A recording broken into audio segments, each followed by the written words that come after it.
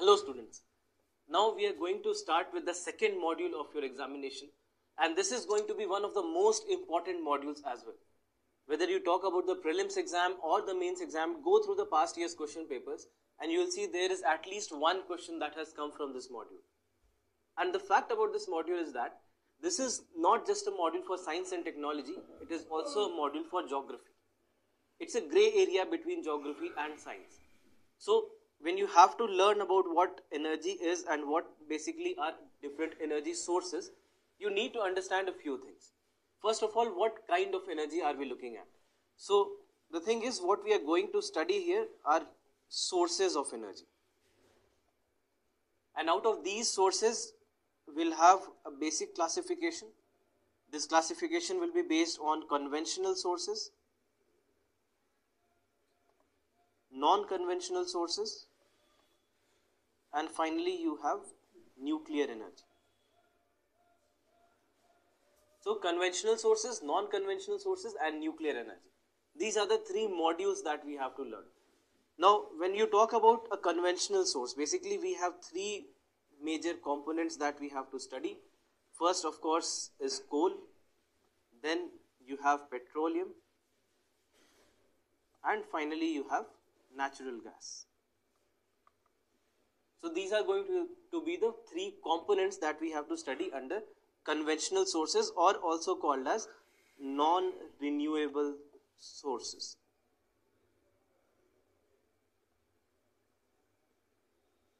Then apart from that you have non-conventional sources. Inside non-conventional inside non-conventional we are going to discuss three major types. First solar energy, then wind energy and bioenergy. But this will another aspect that we will add to it is geothermal energy. So these are the various areas that we have to learn when it comes to this particular examination. Now, when you talk about energy, what exactly do we mean by energy? If you go by class 6th, 7th NCERT books, what the NCERT books say is energy is the capacity to do work. So anything that can enable you to do work or anything that can enable any machine or any being, any organism to do work can be called as a source of energy. So that's why energy can be of different forms. You hear about solar energy, mechanical energy, electrical energy, heat energy. All these are different forms of energy depending on what source the energy is coming from. Now, why we are not going to discuss all the other aspects of energy because they are not direct sources of energy. They are one source of energy that gets converted from these major sources that we are going to study here. So, if you talk about the definition, energy can be called as the capacity to do work and it can exist in many forms depending on the source that is generating that energy. For example, this is a source of heat energy. Right? This is a source of wind energy. This basically we are talking about electricity production. And so on. So you have different sources from which you get energy and these can be produced and these are classified depending on what the source of energy is and what kind of energy is it giving out. So depending on that we define different kinds of energy. Now if we go by definition we have two types renewable and non-renewable. Under renewable energy you have solar energy, hydroelectricity, wind energy, geothermal energy and biofuels and under non-renewable sources of energy you have coal, petroleum and natural gas. Apart from that the third source that we have to study about is nuclear energy. Now when I ask you is nuclear energy a renewable energy or a non-renewable energy? What would your answer be? many a times what I have seen is when this question is asked in the classroom, there are students who are divided. Some of the students feel that this is a renewable source of energy and there are some who feel that this is a non-renewable source of energy. And the fact is that it can be considered as both considering the factors that you are taking into account. For example, nuclear energy comes from uranium. The major source of nuclear energy or nuclear fission reactors all over the world is uranium. Now, uranium is a mineral that is very restricted inside the surface of the earth, inside the core of, inside the crust of the earth. So, since it is something which is available to us in limited quantity, we should not call it a renewable source of energy. What after uranium is done? What after all the uranium in the world has been exhausted? How do you produce energy after that? If you consider this factor, it becomes a non-renewable source of energy. Again, a major thing that is associated with any non-renewable energy source is pollution. Whether it is coal, petroleum or natural gas, you have a huge amount of pollution which is associated with these sources of energy. When it comes to nuclear energy production through uranium, there also you have a lot of uranium wastes or nuclear wastes that are produced. So again, in that sense, if you go, it is very similar to a non-renewable source of energy. But there is another aspect. There are a kind of reactors called as fast breeder reactors.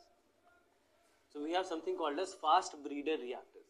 Now what these fast breeder reactors are able to do is that they produce more byproduct or they produce more fissile material than they consume. So the amount of fuel that they are producing is more than amount of fuel that they are taking, is more than the amount of fuel that is given as input.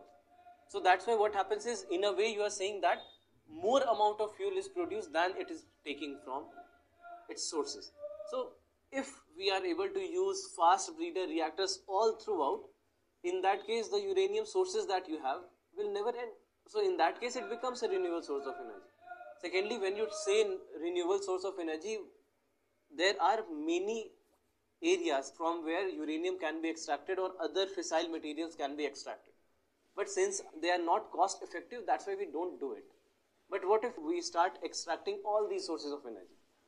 If we are able to do that and if we start doing that again, in that sense what happens is the amount of energy that is available with us is very very high.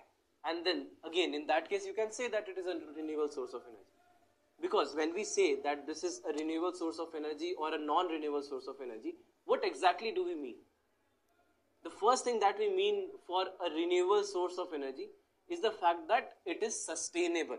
And when i say sustainable sustainable for how long can i say that if something is sustainable for 100 years or 150 years it will be renewable source of energy absolutely not because think of coal the estimates that we have for coal in India is that we would have coal for coming 140, 150 years. Coal is not a renewable source of energy. So when you say it needs to be a sustainable source of energy, what exactly we mean is that it should sustain as long as the earth exists or it should exist as long as the relation between the earth and the sun exists. Because then only you can say that it is something which is renewable. Now think of sun or wind solar energy will be available to us as long as the sun exists. And as soon as the sun does not exist, obviously the life would not exist on the earth. Similarly, wind. Wind is also created by geographical factors. For example, rotation of the earth. Rotation of the earth creates winds. So if the earth stops rotating, obviously there is no life that is going to survive on the earth. So there will be no wind. So solar energy and wind energy in this case give you a sustainable source of energy, a sustainable source which will be available to us for a very, very long time to come. So, in that sense, when you talk about a renewable source of energy, it should be able to sustain for a very long amount of time. And when you talk of non-renewable source of energy, these basically are the fossil fuels. Then if you look at this, this is giving you the top states that we have in India with respect to the amount of power capacity that they have from various renewable sources. So for example, Gujarat, the total amount of production that Gujarat can do is the highest and we are considering everything starting from wind, small hydroelectric power plant, biogas, bioenergy, all the different sources of bioenergy and when I get the total, I get it as such a huge amount of units. So that's why we, we actually are not counting solar energy here because solar energy is equally available to all the states all throughout the country.